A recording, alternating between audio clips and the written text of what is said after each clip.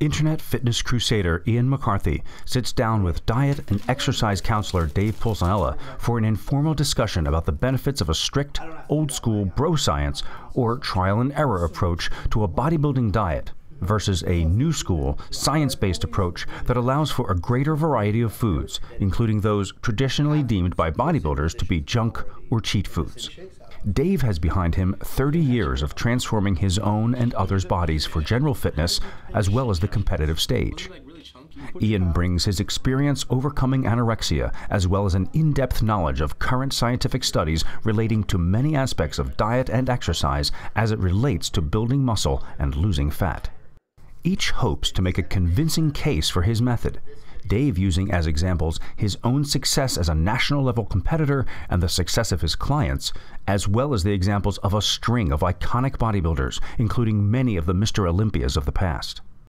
Ian will certainly utilize the examples of natural bodybuilders who have created large and lean bodies using the more relaxed if it fits your macros or IIFYM style of dieting, popular among young men and women today. Almost immediately, they are surprised by how much in agreement they are on this topic. What is your thing with meal frequency? Well, my thing is that many people in this industry, most people, in fact, in this industry, fitness models and self declared gurus, Right. uh, believe that it's necessary that people eat every two to three hours, or they'll say five to six meals a day, or you'll hear people say things like, you know, I eat 10 meals a day to stoke the metabolic furnace. This is a, a hugely overused cliche. Right. The problem is that they're just not correct.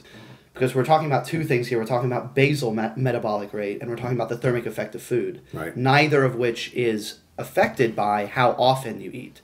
Those are dictated by how, how much you eat. Um, and if you agree with that, well, then that's then then we're on the exactly the same Right. um, starting point. I agree with you to a great degree. It's not necessary. Yeah.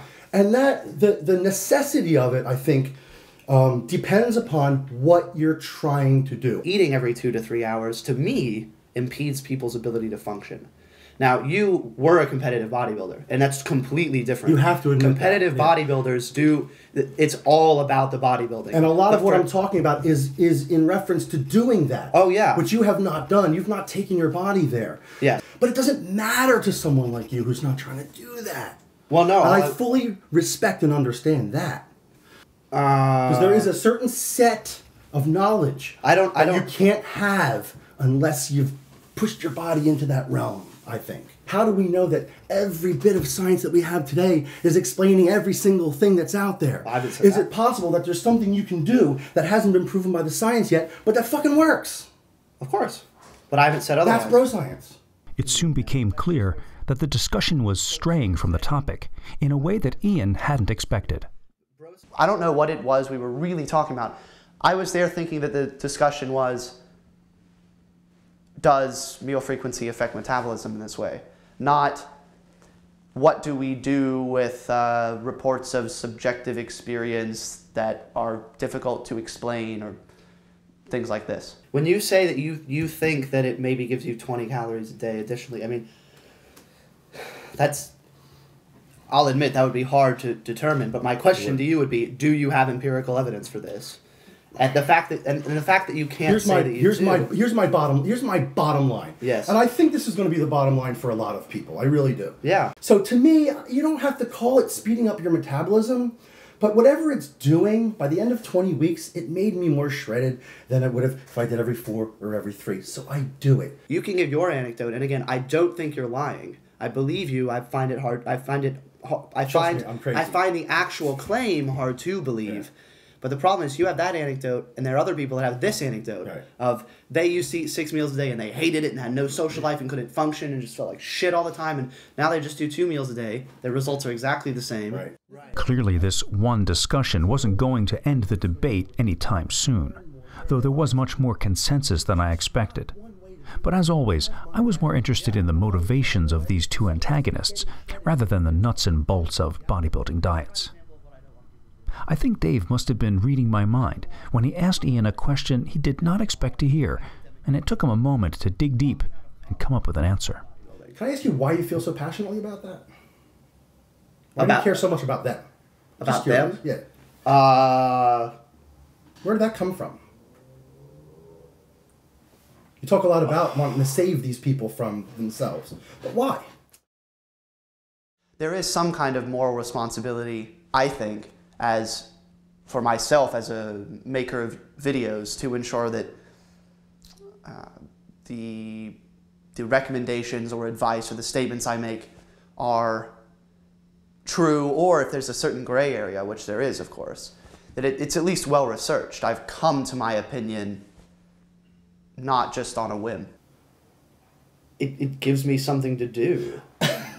No, Fair uh, enough. I, I forget who it was. Um, unfortunately, I'm, I'm terrible with names, but there was a Catholic philosopher, I believe, who said, You don't have the right to die until you've done something for humanity. Now, I'm not trying to overstate what I'm doing here. Uh, tr- trust me, it's not dealing with world hunger or vaccine for AIDS, but I, I do feel like th- there need to be more people willing to just stand for truth, not based on making tons of money or talking about how awesome they are and lots of things with their name all over it. It was no surprise to me that once the distance and anonymity of the internet was removed, the exchange between these two men was far more civil than it had been online. Even though a complete consensus wasn't reached, I think that both Dave and Ian came away from this discussion with a better understanding and respect for each other. Score a victory for good old face to face communication. To be honest with you, I was really impressed with him. Yeah. I wasn't going to say that to his face, but I think that we found that we're not so such different creatures after all. Well, first of all, I'd like to say that we actually disagree a lot less than I expected, which is slightly refreshing and also means that, that we didn't get to argue as much as I expected. But yes. I have to admit that you have convinced me that there is scientific Cool. evidence proving that you cannot speed up your metabolism Sure. by eating more frequently. I believe you, and you have converted me to believing that. However, I'm not going to stop doing it. I I don't think it's better in terms of metabolism. I think it's better in terms of being able to function as a human. I agree. He does actually seem to have reasoned reasons, at least. It's a bit of a tautology, but he, there's some justification behind what he does, which is actually not bad. It's a good point that these foods are roughly pure in their different macronutrients. However, in the months following the debate, Ian confessed to me a disillusionment with the negativity and shallowness of much of online conversation, and was even thinking of taking a break from the internet, at least so far as retiring his crusader persona for a while. It's just bodybuilding, not saving the world. The, the, the degree of the argumentation we have over this is pathetic, frankly. And I'm saying this about myself too, trust me. Because there was a time when someone would post a link on the NBB Facebook page saying, go argue with this per- person about uh, gluten free waffles. And I would do it. And now they do that, and I look at them and I say, what the fuck are you doing with your life? Go get laid or go outside or something.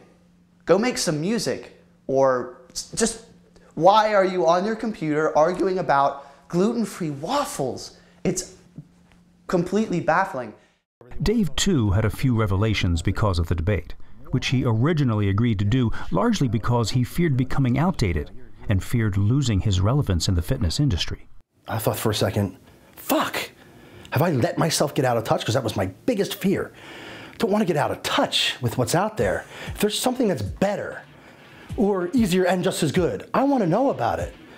It did cause me to take a step back and and reconsider because I'm very open-minded when it comes to the shit. Even though I've been doing it a long time and I know what works, it doesn't mean that there's something else out there that might not work too. Bodybuilders are amazing at figuring out what works, regardless of the science. I think you can get very, very, very caught up in the science and very, very limited in terms of what you're willing to do and how out of the lines you're willing to go in your prep. If you get too caught up in that, and it's limiting and it will keep you at a certain place. And once you want to bust out of that, you'll find yourself doing things like tightening up those spaces between your meals. Where Ian is right now is an amazing starting point for him. If he actually wanted to bodybuild, which I don't think he does, but if he actually wanted to bodybuild, he could take that knowledge and he could compose excellent training protocols for himself and really good diets that are based on, on science that would work for him. Um, and push the envelope and really get himself into great shape using and not making many mistakes along the way because he knows the science behind it, you know. So in a way, in a big way, I, I really applaud what he's doing. What struck me personally after editing the video, and the one idea I couldn't get out of my head, was the notion of a moral duty. As a filmmaker, did I have a responsibility to only present facts that I knew to be true, even if it was someone else saying them? If, for instance, I were to create a documentary about a racist, do I personally have to take responsibility for the terrible things my subject says?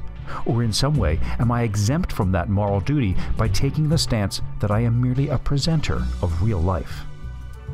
More specifically, was I responsible to fact check the scientific accuracy of the six foods that work before posting the clip? Even though Raising the Bar was, in effect, a portrait of a person and not an instructional video. To my great relief, my next project would address that very concept and give me an opportunity to redeem myself in the bodybuilding world.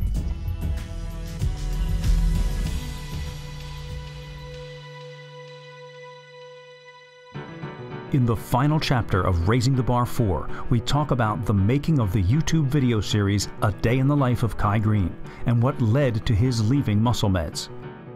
Victor Martinez is incarcerated when returning from a triumphant win at the Arnold Classic in Spain, then has his arm broken by an overzealous fan, yet still manages to compete at the New York Pro.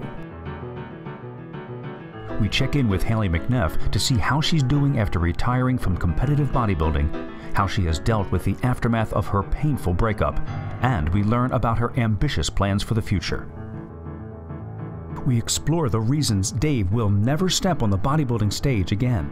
See what he's up to now, witness the beginning of a new chapter in his life, and I try to make sense of all of this and tie it up in a bow.